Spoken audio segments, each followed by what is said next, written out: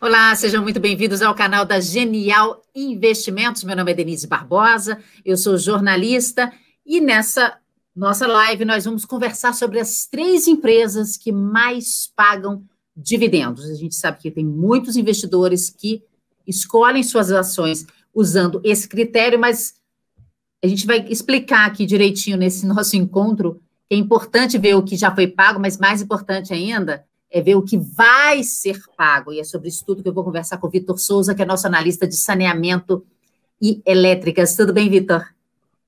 Tudo ótimo, Denise. Muito obrigado pelo convite. Sempre um prazer estar aqui de novo. Prazer é todo nosso. Gente, é o seguinte, quando eu peguei a lista para poder ver as empresas, eu vi, não, o nosso convidado vai ter que ser o Vitor mesmo, porque todas as empresas estão dentro desses dois setores que ele analisa. Então, Vitor, aqui na minha lista das, das empresas que mais pagaram as, uh, dividendos nos últimos 12 meses, temos Copasa, Copel e Transmissão Paulista, cujo novo nome é ISA CETEP, mas o pessoal conhece mais como Transmissão Paulista mesmo. É, eu queria primeiro que você falasse o cenário que favoreceu essas empresas a pagarem mais dividendos quando, eh, nesses últimos meses e se o cenário para frente também, né, o cenário futuro também favorece que esse ritmo de pagamento de dividendos se mantenha. Ok. É, cada caso é um caso. Por quê? Porque o setor de saneamento e de energia elétrica ele é composto de uma tal maneira é, ele é feito para pagar dividendos. A gente está falando aqui de um monopólio natural, com margens muito grandes e coisas desse tipo. Então, assim, toda a regulação, seja da distribuição, da geração e da transmissão, ela é toda construída para que o capital seja remunerado e a maneira e a melhor maneira de se remunerar o capital é, é o dividendo. Então, mas cada empresa ela tem uma história diferente, tá? É, então, quando eu olho o dividendo de cada empresa, você tem que acompanhar a história de cada uma dessa empresa. Tá? É, normalmente, quando se fala de transmissão, o, o fluxo de dividendos está muito relacionado à, à, fase que a empresa está é, no que diz respeito aos projetos que ela está tocando.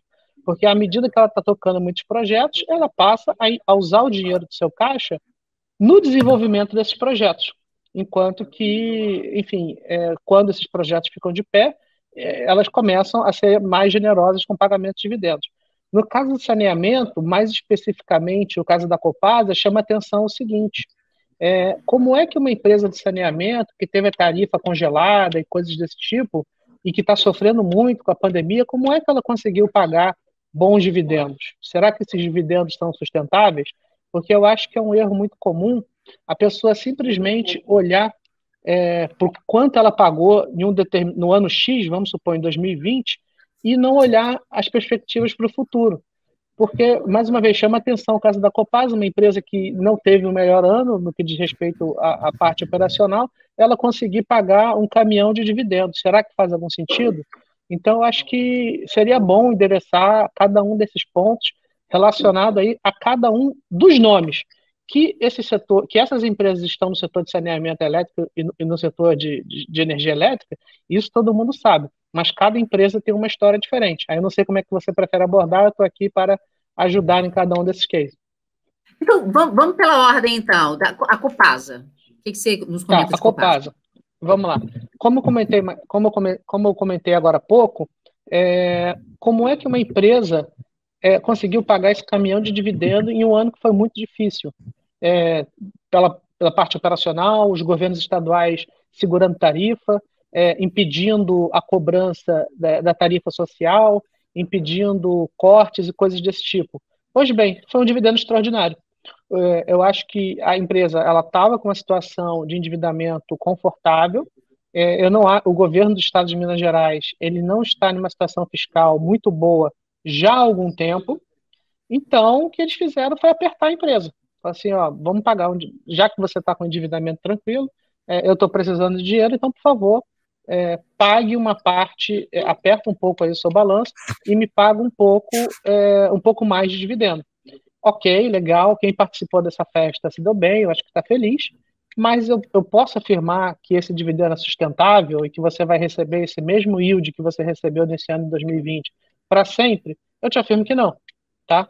é, não faz sentido. Assim, é, claro, a gente está tá em 2021, 2000 2022 é, é um ano eleitoral, então, assim, certas coisas é, meio extraordinárias podem acontecer, mas, assim, o dividendos extraordinário, ele tem esse nome não é à toa. E o, que eu costumo falar é o seguinte, a gente consegue capturar mais ou menos aí o rendimento da empresa em termos de dividendo, utilizando os números é, recorrentes, mas o que é extraordinário, a gente não tem bola de cristal. Então, se o governo de Minas Gerais vai apertar a empresa de novo para ela pagar um pouco mais de dividendo do que deveria agora no ano de 2021, eu sinceramente não sei. Mas eu afirmo categoricamente que quem está comprando a Copasa esperando esse tipo de rendimento para o resto da vida, ou pelos próximos cinco anos, eu, eu afirmo categoricamente que não vai acontecer, não vai rolar. A outra empresa que a gente tem aqui na lista é a Copel. Ok, é, é uma empresa que sempre passou, assim, nos últimos cinco anos, aí, ela sempre teve relacionada a dúvidas em relação à gestão, etc. E ela, no final do dia, conseguiu fazer seu dever de casa e entregou os projetos que ela estava desenvolvendo. Mas o grande pulo do gato da Copel, na minha opinião, é o seguinte: é, hoje, ela está, se você pega para a empresa hoje, 2021, ela é uma empresa redonda que, a princípio, conseguiria é, seguir com esse fluxo de pagamentos de dividendos. Só que o, o que me chama a atenção da empresa é o seguinte: é o segmento de geração dela. Por quê? Porque ela tem concessões que estão vencendo no curto prazo. Tá? Só para vocês saberem, é uma concessão de geração ela tem 30 anos de, gera, de, de duração. E quando termina essa concessão, a empresa precisa renovar. E, e, e ela renova é, a, a, essa concessão, ela volta para o governo federal e o governo federal precisa relicitar esse, esse ativo. E, e essa relicitação passa aí por um, por um ambiente competitivo. A empresa tem comentado muito sobre a possibilidade de, de um, um, um, parceiro privado, etc. Mas no final do dia é o seguinte: é, em 2023, ela, em teoria, perde esse ativo, tá? é, o, é a hidrelétrica de Foz de Areia, tem 1.676 megawatts, é, e que representa 33% da capacidade instalada da empresa. É, e a empresa vai precisar de dinheiro, tá? Ela vai precisar de dinheiro para conseguir é, disputar essa relicitação, ou então ter dinheiro para comprar esse ativo junto com um peer privado. Então, o que eu posso dizer é o seguinte: legal, parabéns por esse dividendo 2021. Eventualmente, a gente pode continuar pagando esse nível em 2022, mas vale lembrar que, assim, no longuíssimo prazo, ela não é sustentável, porque tem esse, esse IF aí. É, e aqui eu estou citando só o nome de um ativo, tá? Existem outras hidrelétricas que ali por volta de 2027 é, também 27, 28, 29, ela, ela, ela, essa concessão acaba e a empresa precisa renovar o seu portfólio de ativos para seguir é, pagando bons dividendos. É, numa estatal, hoje, a Copel ela tem bons números na distribuição. E eu estou falando de distribuição porque, historicamente, a distribuição ela tem. É, ela, ela, ela, da Copel, inclusive, ela, ela opera muito abaixo da sua eficiência. Então, quem acaba segurando a empresa nas costas são os segmentos de geração e transmissão, porque eles são, têm margens operacionais muito grandes. É, se eventualmente é, o governo atual não conseguir se reeleger, é um risco é, do novo governo não tratar a empresa com tanto carinho. E, e eu falo isso tudo porque o, acaba que a empresa ela, ela não, não negocia com ela, ela tende a negociar com desconto em relação aos seus pares por causa dessas questões. É uma estatal, no final do dia, o histórico dela não, não é tão bom, e boa parte das suas concessões, as concessões mais relevantes, elas estão vencendo nos próximos anos.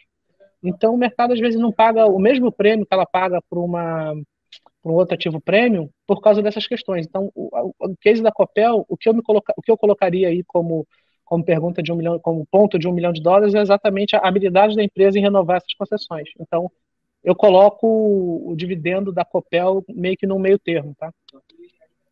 E a ISA CETEP, Transmissão Paulista? A ISA, tá, a ISA CETEP é o seguinte, é, quem for, a ISA CETEP é o seguinte, ela tem um fluxo de recebimento de uma indenização chamada RBSE, Remuneração Básica do Sistema Existente.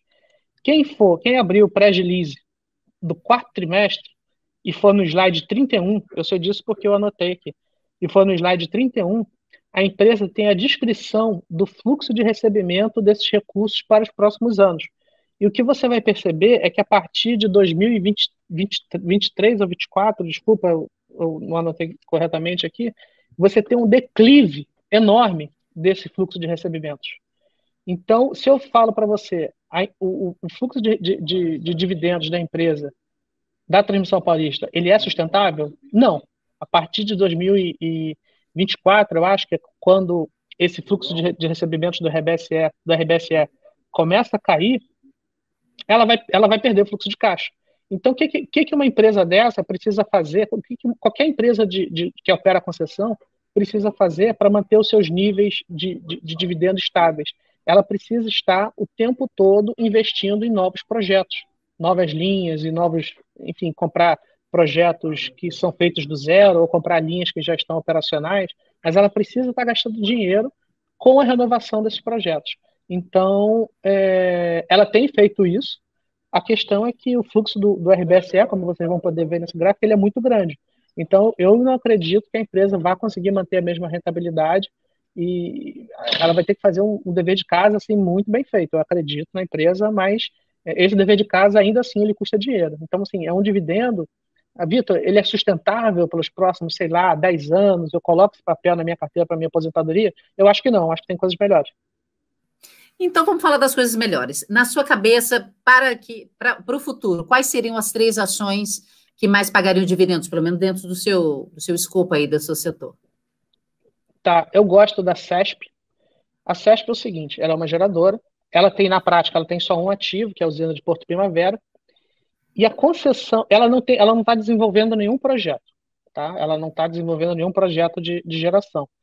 Mas é, essa usina de Porto Primavera, a concessão dela termina, se não me engano, em 2049, daqui a, sei lá, 30 anos.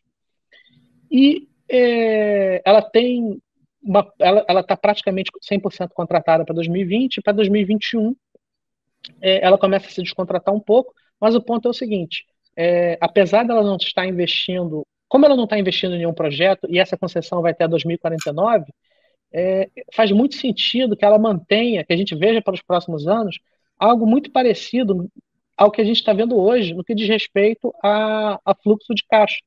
Se você der uma olhada no ano de 2020, ela fechou o ano gerando aí praticamente 750 milhões é, de fluxo de caixa pós, pós investimento e, e pós-dívida, o que, o que representa um, um rendimento aí de 9% em relação ao valor de mercado dela. Ela pagou em dividendos 850 milhões de reais, um pouco mais do que ela gerou de caixa.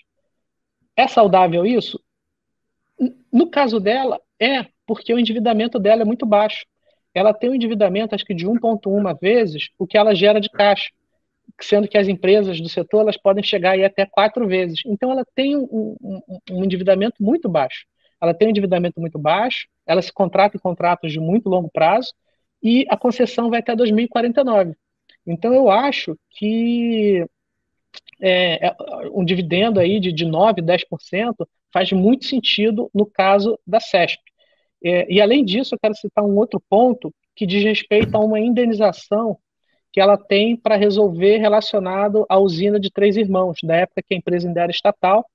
É, sempre que termina a concessão de uma empresa de, de, de utilities, de, de, de, de serviços de infraestrutura, o governo ele precisa ressarcir os ativos, que a gente chama de ativo não depreciado, né, que é todo aquele investimento que é feito ao longo da vida útil do ativo, menos a depreciação, então sempre tem um valorzinho residual ali que o governo precisa chegar junto no final da concessão.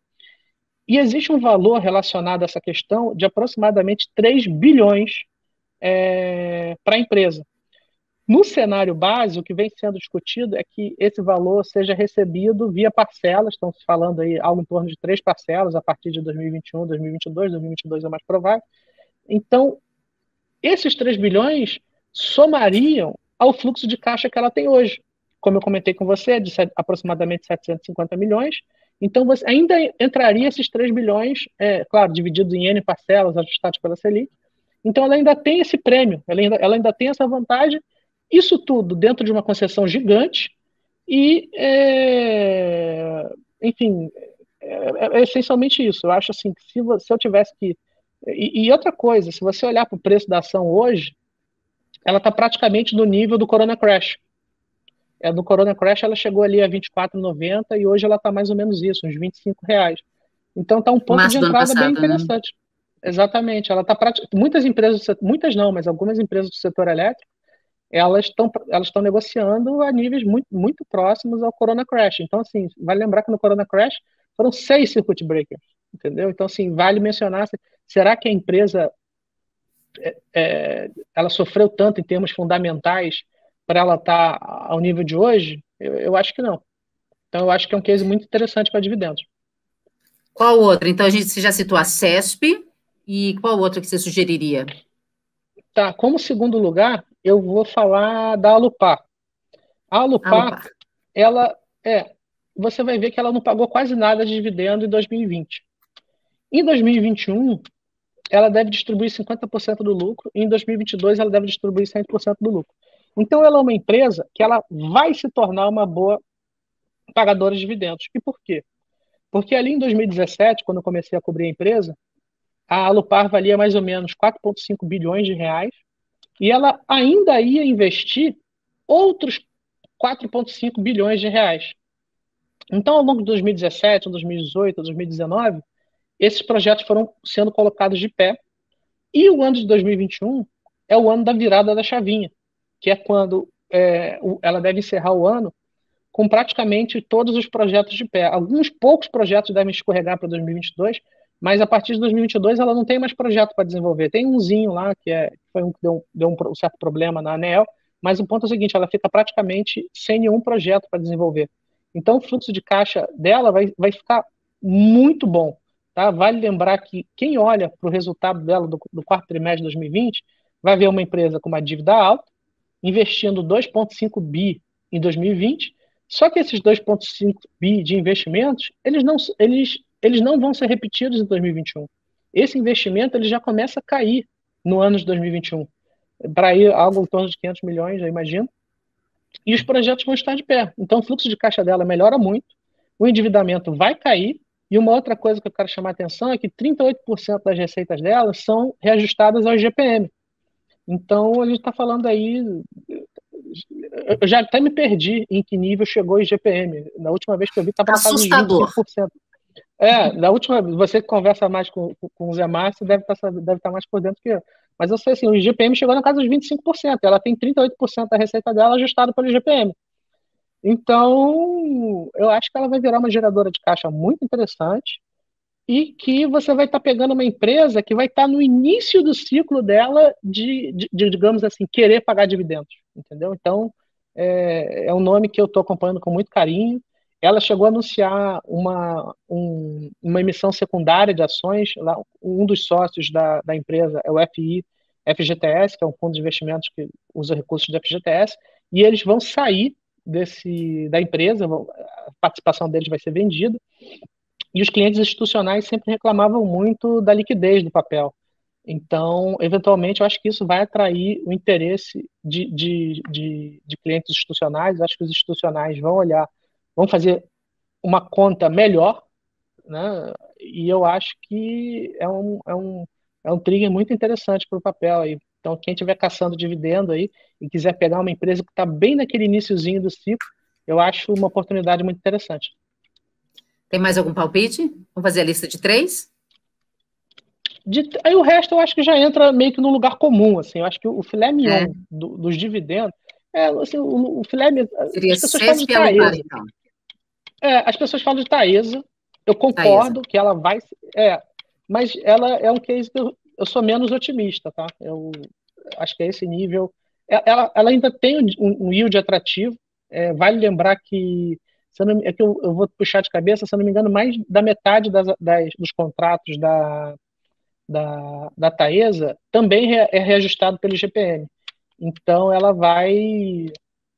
Eu acho que ela vai também entrar no, numa situação parecida com a da, com a da, da, da e pagar bastante dividendo. Né? A única coisa que eu chamo a atenção é que ela também tem esse problema relacionado à concessão, é, mas é, é, é um pouco mais para frente, ali por volta de 2030. Ela tem algumas concessões que começam a, a cair a receita, porque, enfim, alguma, algum, algumas concessões, quando ela chega no 15º ano de operação, a receita cai pela metade, são concessões do tipo 2, mas enfim, a gente vai entrar em certos detalhes aqui que acho que não vale a pena ser mencionado. Mas quem investe em Taesa tem que entender que ali por volta de 2030 ela tem, é, não é tão curto prazo assim. Então, assim, eu acho que ela segue é, sendo uma boa pagadora de dividendos, yield atrativo, mas a, a, concessão dela me preocupa, entre aspas, e quando eu coloco entre aspas, é exatamente por isso, porque a partir de 2030, então tem mais 10 anos pela frente, ainda tem muita história, tem muita água, tem muito rio para correr embaixo dessa ponte. Então,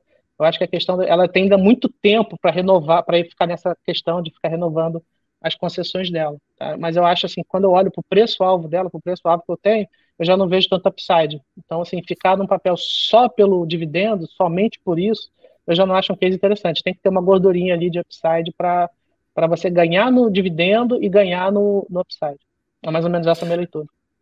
O Vitor, quando eu fui fazer a lista das três ações que mais pagaram dividendos, na verdade eu fiz a lista do, das cinco. Então ficou Copasa, Copel, Isa Cetep, a CESP, que você já comentou também, e veio a Eletrobras. Em quinto lugar veio a Eletrobras. E como é uma empresa muito grande, sempre tem notícias sobre a Eletrobras, queria que você falasse um pouquinho sobre as perspectivas de dividendos da Eletrobras aqui para frente. Tá, esse ano é, ela pagou também o nível bom de dividendos, é que eu não estou conseguindo ver o preço dela agora, mas da última vez que eu vi era algo que chegava ali a uns 6% de dividend yield, que é bem interessante.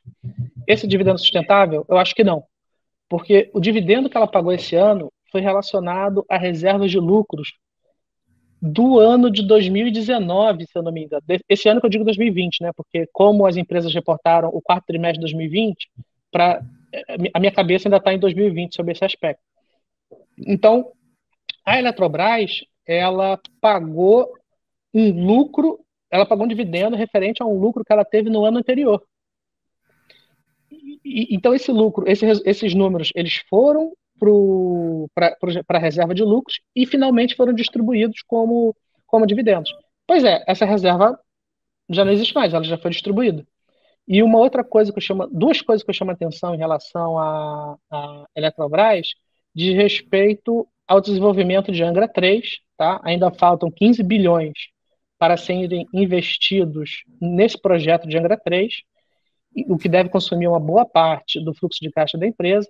Mas, além disso, esses 15 bilhões, a gente ainda não sabe se a empresa vai reajustar esses números em relação ao dólar, porque para você construir uma usina nuclear, se não, eu não, eu não vou arriscar aqui dizer que é 100% da usina, mas eu diria que 80% ou 90% da usina é feita através de produtos importados. E, então, assim, boa parte do CAPEX de Angra 3 é dolarizado. Então, esses 15 bi devem ir para, sei lá, uns 20, talvez. Então, a necessidade de investimentos de Angra 3 vai consumir uma boa parte do, do fluxo de caixa da empresa gerados pelos próximos anos. Tá? Então, seria imprudente a empresa pagar mais do que 30% ou 40% dos seus lucros em dividendos para os próximos anos é, por, por, causa dessa questão. Além disso, ela tem uma usina chamada Tucuruí. É uma usina que tem mais de 8 mil megawatts. Só para vocês terem uma noção, a Engie tem 8 mil megawatts. Então, assim, a Tucuruí é uma das maiores usinas do mundo. E a concessão dela acaba em novembro de 2024. Então, é, é, é um outro problema aí relacionado à sustentabilidade da, da geração de caixa de, da empresa, né? Então, assim, se ela distribuir muito dividendo hoje, ali na frente, quando ela precisar ou renovar essa concessão ou, ou seguir desenvolvendo o projeto de Angra 3, ela pode ficar numa situação complicada se ela pagar muito dividendo. Então, eu acho assim que seria prudente da parte dela pagar pouco dividendo, pagar 30% do lucro, 40% do lucro. Então, assim, o, yield no final, esse yield desse ano, o rendimento desse ano, no final do dia, é um rendimento meio fake, é um, é um rendimento extraordinário. Então, é, por um longo prazo, inclusive faz parte da proposta da privatização da empresa a, a, a renovação dessa concessão de Tucuruí. Tá? Então, o governo federal receber, o governo, caso a privatização aconteça, o governo, a empresa seria capitalizada e com o dinheiro dessa capitalização ela conseguiria uma outorga nova de 30 anos de duração, para uma usina de 8 mil megawatts. Imagina só que beleza. Então, é mais ou menos essa a situação da Eletrobras. Ô, Vitor, nosso tempo está acabando, mas tem umas perguntinhas aqui. Eu queria, vou repassar para você para a gente fazer uma coisa rapidinha aqui. Ó. O Arthur pergunta: Boa noite, Souza. Poderia comentar sobre Neo E3 para longo prazo, possibilidade de pagar bons dividendos? Atualmente está descontada com PVP de 0,92. tá, eu não cubro a Neoenergia, mas eu conheço o case ao longe, sabe? Eu não tenho modelo, não tenho projeção, não tenho, mas eu conheço o case ao longe. Eu sei o seguinte, que o racional de dividendo para a Neoenergia faz sentido, se eu não me engano, a partir de 2023, mais ou menos. Por quê? Porque hoje, se eu não me engano, ela está desenvolvendo uma série de, de linhas de transmissão e é, uma série de linhas de transmissão, e se eu não me engano, ela adquiriu a SEB, e adquiriu a SEB por um preço um pouco elevado, né, um valuation implícito aí um pouco elevado. Então, o caso dela é o contrário.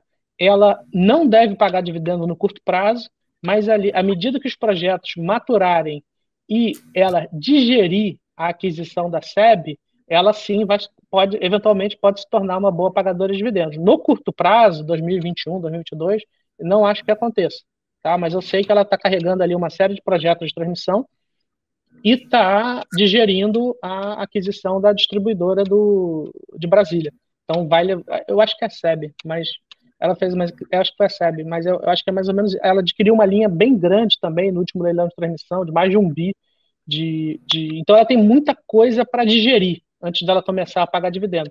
Parece ser um case interessante de valor, tá? Acho que tem ali um potencial de valorização à medida que é, a empresa negocia 90% do patrimônio, é, ela tem ali alguns issues relacionados à alocação de capital, mas acho que 0,90% de patrimônio parece ser um pouco exagerado. Mas a situação dela é mais ou menos essa. Tem que ter paciência. Nesse caso, tem que ter paciência. O Jonas pergunta o que, que você acha da S Brasil para dividendos? Eu prefiro a CESP. Eu, eu diria que a CESP é porque a, a que agora virou a S Brasil, ela sempre pagou muito dividendo, sempre, assim, nos últimos, sei lá, cara, 15 anos ela pagou muito dividendo. Mas à medida que ela pagou muito dividendo, ela nunca investiu em novos projetos. Ela está correndo atrás do tempo perdido agora. Tem uns dois anos para cá que ela está começando a comprar um monte de, um monte de, de, de, de eólicas e coisas do tipo, está até comprando bem, mas é, a, a, concessão, ela, se não me engano, 70% da empresa, da, da, da capacidade instalada da empresa acaba em 2028, se eu não me engano. Então, é um case assim, para dividendo, eu, eu, não consigo enxergar tanto valor. Você vai receber, assim, o yield desse ano, 2020, não foi interessante. É, eu prefiro a CESP. Assim, e é um case que eu acho muito mais interessante que a S Brasil. Última pergunta rapidinho. Antes de eu passar a última pergunta, vou pedir já para você deixar seu like para o YouTube entender que esse é um conteúdo relevante e poder compartilhar com mais pessoas aqui todas essas dicas legais que o, o Vitor está nos passando. Igor faz a pergunta. Vitor, poderia falar um pouco sobre a NBR? Gosto muito de suas análises, parabéns.